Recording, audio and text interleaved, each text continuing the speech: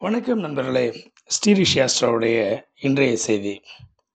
நீங்கள் பார்த்து கொண்டிருக்கிற இந்த அபிஷேகம் இருபத்தேழு நட்சத்திரம் பனிரெண்டு ராசி ஒன்பது நவகிரகம் இணைந்த ஸ்ரீ காலதேவிக்கு செய்யப்படுகின்ற இந்த அபிஷேகம்.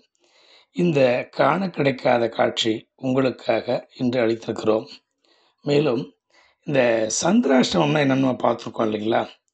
அதாவது சந்திராஷ்டமம்னா பன்னெண்டு ராசிக்காரர்கள் செய்ய வேண்டிய பரிகாரம் என்ன அப்படிங்கிறத பற்றி பார்க்கலாம்.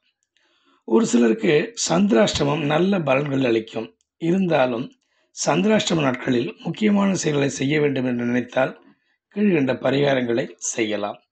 சிலருக்கு சந்திராஷ்டமம் நல்ல பலன்களை அளிக்கும். அவர்களுக்கு பிறக்கும் பொழுதே லக்னத்திற்கு ஆறு எட்டு பனிரெண்டு ஆகிய ஸ்தானங்களில் சந்திரன் மறைந்தவர்களுக்கெல்லாம் சந்திராஷ்டமம் நன்றாகவே இருக்கும். இருப்பினும் சந்திராஷ்டம நாட்களில் முக்கியமான செயல்களை செய்ய வேண்டும் என்று நினைத்தால் கீழ்கண்ட பரிகாரங்களை செய்யலாம். மேஷராசிக்காரர்கள் துவரை தானம் செய்து சுப்பிரமணியர் வழிபாடு செய்து அதன் பிறகு காரியங்களை செய்ய துவங்கலாம். ரிஷபராசிக்காரர்கள் முச்சி தானம் செய்து மகாலட்சுமி வழிபட்ட பிறகு செயல்படலாம்.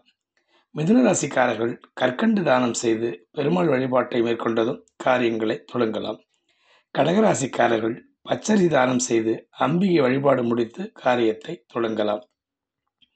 சிம்ம ராசிக்காரர்கள் அவள் தானம் கொடுத்து சிவன் வழிபாடு செய்த பிறகு காரியத்தை துவங்கலாம்.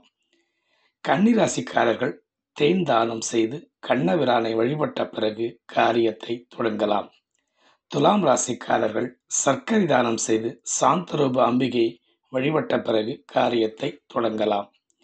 விருச்சிக ராசிராயர்கள் துவரை தானம் செய்து அங்காரகனை வழிபட்டு காரியத்தை தொடங்கலாம்.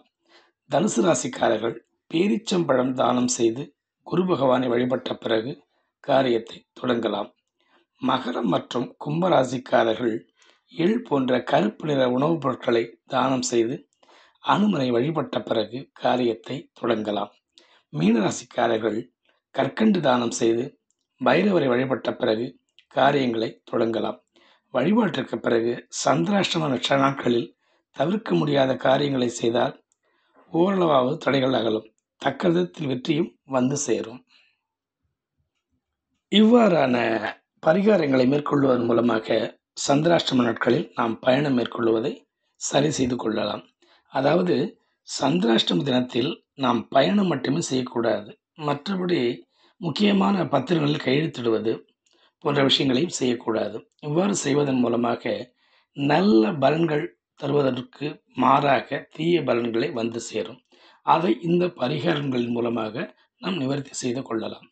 நாம் கடந்த நமது பதிவின்படி பார்த்தால் சந்திராசிரமம் என்றால் என்ன என்று பார்க்கப்படும் பொழுது நமது ராசியிலிருந்து எட்டாவது ராசியான வரக்கூடிய அந்த ராசியை நமக்கு சந்திராஷ்டம ராசியாகும். அந்த ராசி நட்சத்திரம் மூன்று நட்சத்திரங்கள் வரும். அந்த மூன்று நட்சத்திரங்களை நாம் கடந்த பிறகுதான் அந்த நமது தீய பலன்கள் குறைந்து நல்ல பலன்கள் ஏற்படும். இப்போ உதாரணமாக ஒரு மேஷராசி நேயர்கள் பரணி நட்சத்திரம் அப்படின்னு வச்சுக்கிட்டோம்னாக்கா நமக்கு அதுக்கு நேர் ஆப்போசிட் அதாவது எட்டாவது ராசின்னு பார்த்தோம்னா விருச்சிக ராசி. இப்போ விருச்சிக ராசிக்கு இப்போ வந்து மேஷ ராசிலேருந்து எட்டாவது ராசி விருச்சிக ராசி. அதில் வரக்கூடிய மூன்று நட்சத்திரங்கள் இருக்கு இல்லைங்களா? விசாகம் நாலாம் பாதம் அனுஷம் கேட்டை. இப்போ இந்த மூணு நட்சத்திரங்களுமே மேஷராசிக்கு ஆகாது. அப்படி ஆகாத நட்சத்திரத்தில் நம்ம எது பண்ணாலும் பலிதமாகாது. அதனால் அந்த நாட்களில் நம்ம முக்கியமான செயல்பாடுகளை தவிர்க்கணும். அப்படி தவிர்த்து போய் ஆகணும் அப்படிங்கும் பொழுது நம்ம இந்த நம்ம சொன்ன பரிகாரங்கள் இல்லைங்களா? மேஷராசிக்கு உண்டான அந்த துவரை தானம். அதை கொடுத்துட்டு பண்ணலாம். அதே மாதிரி இப்போ மேஷராசியில் ரொம்ப அதிகமான சந்திராஷ்டமம்னு பார்த்தீங்கன்னா இந்த அசுனி நட்சத்திரக்காரங்களுக்கு விசாகம் சுத்தமாகாது. பரண நட்சத்திரக்காரங்களுக்கு அனுஷம் சுத்தமாகாது. கிருத்திகைக்கு கேட்டை சுத்தமாகாது. அந்த மூணு மூணு நட்சத்திரத்துக்கு தகுந்த மாதிரி இந்த எத்தனாவது நட்சத்திரமாக வருதோ அந்த நட்சத்திரத்தப்போ நம்ம எதுவும் செய்யக்கூடாதுங்கிறது பொது விதி. ஆகவே என்பவர்களே சந்திராஷ்டம தினத்தில் நாம் எதை செஞ்சாலும் அதை பார்த்து பார்த்து செய்யணும். அப்படி பார்க்காம செஞ்சோம்னா அன்றைக்கி நிச்சயம் தோல்வி அமையும். அந்த தோல்வியினுடைய ஒரு பகுதியை மட்டும்தான் இந்த பரிகாரத்தின் மூலமாக நம்ம குறைக்கலாமே தவிர முழுமையாக நம்ம குறைச்சிட முடியாது. ஏன்னா அந்த சந்திராஷ்டம தினத்திற்குன்னு ஒரு தனி சக்தி இருக்குது அது கொஞ்சம் நெகட்டிவான வேலையை தான் செய்யும்.